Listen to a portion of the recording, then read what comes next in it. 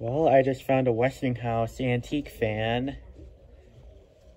Look, only $26, but it says just for looks. And look, the cord is just cut off of the fan. So yeah, this fan doesn't even work, so I'm not getting it anyway. I'm not getting an antique fan that doesn't even work.